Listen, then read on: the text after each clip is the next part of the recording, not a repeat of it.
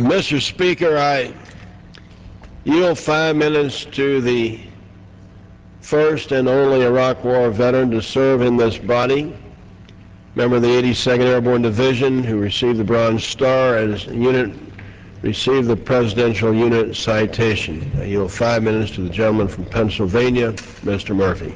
The gentleman from Pennsylvania is recognized for five minutes. Thank you, Mr. Speaker, and thank you, Mr. Chairman. I appreciate it. I take the floor today not as a Democrat or Republican, but as an Iraq War veteran who was a captain with the 82nd Airborne Division in Baghdad. I speak with a heavy heart for my fellow paratrooper Specialist Chad Keith, Specialist James Lambert, and 17 other brave men who I served with who never made it home. I rise to give voice to hundreds of thousands of patriotic Pennsylvanians and veterans across the globe who are deeply troubled by the President's call to escalate the number of American troops in Iraq. I served in Baghdad from June of 2003 to January of 2004. Walking in my own combat boots, I saw firsthand this administration's failed policy in Iraq. I led convoys up and down Ambush Alley in a Humvee without doors convoys that Americans still run today because too many Iraqis are still sitting on the sidelines. I served in Al Rashid, Baghdad, which, like Philadelphia, is home to 1.5 million people.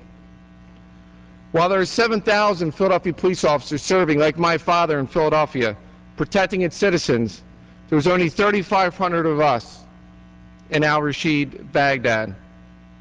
But, Mr. Speaker, the time for more troops was four years ago. But this president ignored military experts like General Shinseki and General Zinni, who in, 19, in 2003 called for several hundred thousand troops to secure Iraq. Now, Mr. Speaker, our president again is ignoring military leaders. Patriots like General Colin Powell, like General Abizaid, and members of the bipartisan Iraq study group who oppose this escalation. But most importantly, Mr. Speaker, Congresses in the past did not stand up to the President and his policies. But today I stand with my other military veterans, some who were just elected, like Sergeant Major Tim Walz, Admiral Joe Sestak, and Commander Chris Carney. We stand together to tell this administration that we're against this escalation and that Congress will no longer give the President a blank check. Mr. Speaker, close to my heart is a small park on the corner of 24th and Aspen Streets in Philadelphia. This is the Patrick Ward Memorial Park. Patrick Ward was a door gunner in the U.S. Army during Vietnam. He was killed serving the country that he loved.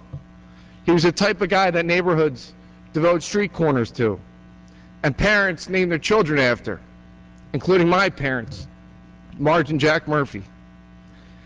Mr. Speaker, I asked you, how many more street corner memorials are we going to have for this war? This is what the President's proposal does. It sends more of our best and bravest to die refereeing a civil war. Just a month ago, Sergeant Jay Moon from my district in Levittown, Bucks County, was killed in Iraq. You know, a few blocks away from this great chamber when you walk in the snow is the Vietnam memorial where half the soldiers listed, listed on that wall died after America's leaders knew our strategy would not work.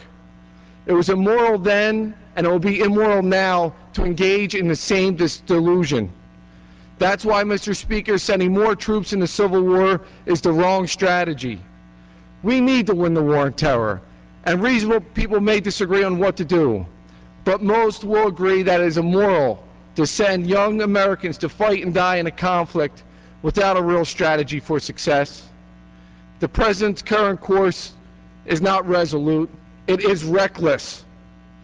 That is why I will vote to send a message to our President that staying the course is no longer an option.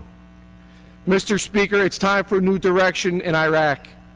From my time serving with the 82nd Airborne Division in Iraq, it became clear that in order to succeed there, We must tell the Iraqis that we will not be there forever. Yet, three years now since I have been home, it's still Americans leading convoys up and down Ambush Alley and securing Iraqi street corners. We must make the Iraqis stand up for Iraq and set a timeline to start bringing our heroes home. That's why I'm proud to be an original co-sponsor with Senator Barack Obama and fellow paratrooper Congressman Mike Thompson, the Iraq De-Escalation Act, a moderate and responsible plan to start bringing our troops home, mandating a surge in diplomacy and refocusing our efforts on the war on terror in Afghanistan. Mr. Speaker, our country needs a real plan to get our troops out of Iraq, to protect our homeland, and secure and refocus our efforts on capturing and killing Osama bin Laden and Al Qaeda.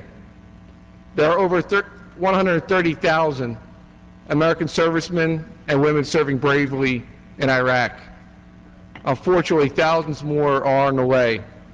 Mr. Speaker, an open-ended strategy that ends in more faceless roadside bombs in Baghdad and more street corner memorials in America is not one that I will support.